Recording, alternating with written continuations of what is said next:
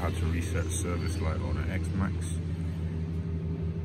for oil belt. Hold it down for three seconds till it flashes and then you're gonna hold it down for 15 seconds.